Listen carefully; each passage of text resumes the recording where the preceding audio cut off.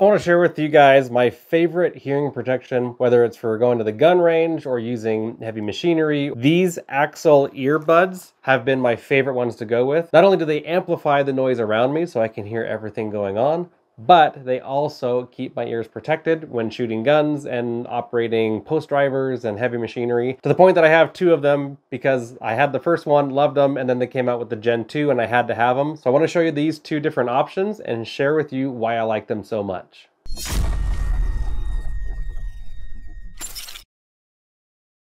These are the first ones here that I got. The reason I like them is because they last for about eight hours of constant runtime and they just make it easier to shoulder a rifle. That or work outside because I don't have the big earmuffs. I'm not hitting it on things. I've used these at countless training courses for firearms and doing many different projects. We actually built a huge shooting platform out in the forest and use that for all the heavy machinery going on there. And the point is, is that they simply work. Now, Axil's been making hearing protection like this for a long time. And the very first version that they had of these, I did not like them at all. I purchased them and had to send them back because the ambient noise was way too staticky. Then they came out with a new version like these here, and these work awesome. Then they came out with their GhostStryke 2.0, and I had to have these. It has a bigger battery pack on this side, but the Bluetooth control is much better. The thing that I didn't like about the first ones here is that the Bluetooth works, but it really only works properly when you have hearing amplification turned on. And I wanted to be able to turn off the hearing amplification like when I'm on an airplane. I want to be able to switch between being able to hear everything around me and not hearing anything around me. And only one earbud will work in a Bluetooth mode. So that's one thing that they fixed with the second unit is you can now turn off hearing amplification and still listen to Bluetooth with these, which makes it really great for travel. So this side here has all the Bluetooth connectivity and options right here as far as volume control. And then here on this side is the hearing amplification settings. You have a switch here to turn it on and then the plus or minus button for volume control. It does come with different foam inserts. These are the non-firearms rated ones, but I find that the firearm rated ones are too thick and they're really hard to get in my ears because I have pretty small ear holes. So I stick with the smaller ones and most people that I know that have these stick with the smaller ones, you're not gonna get as much hearing protection, but it does give you good hearing protection.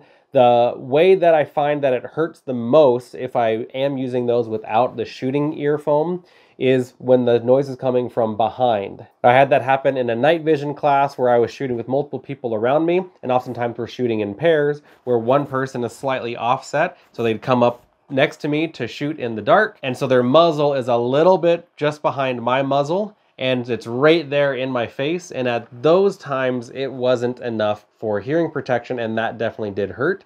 And so if you are going to be shooting in those kind of conditions, I absolutely recommend the thicker foam. You're just going to have to find out which foam works best for you. And it does come with like six different options.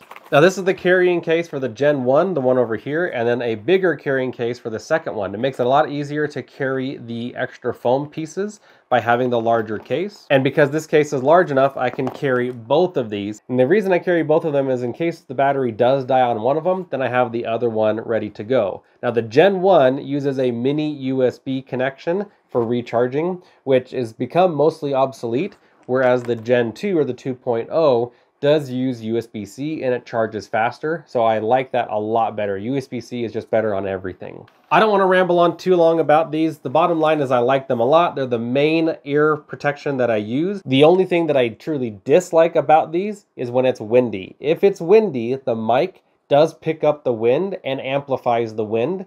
And so one trick is to put a really small band-aid over the hearing hole, but sometimes that can cause some interference. So it would be nice if Axil came out with some sort of foam cover for these that could go around it to make sure that the wind noise isn't affecting these because oftentimes I'm at the range with my buddies, we're shooting, and when we're under the protection out of the wind and everything like that, it's great. But as soon as we're walking down range to go check targets and the wind's blowing, I can't hear the conversation going on next to me. Outside of that, if it's not windy, these are perfect. So if it's windy, I'll usually take my muffs. If it's not windy, then I go with these. Or if I'm by myself, then I go with these because I can be jamming out to music while shooting and still hear everything else around me. That's the only thing I truly dislike about these. The foam things I can work around and the battery life is good enough that it lasts me all day or all night at a training class and I highly, highly recommend them. For any discounts or coupons I can get you guys, I'll put them in the description down below. Having these so small makes it really easy to carry these with me everywhere that I go, whether I need to amplify the noise or protect my hearing. So get out there, get training, get this hearing protection if you want it, prepare for self-rescue. I'll see you guys in the next video.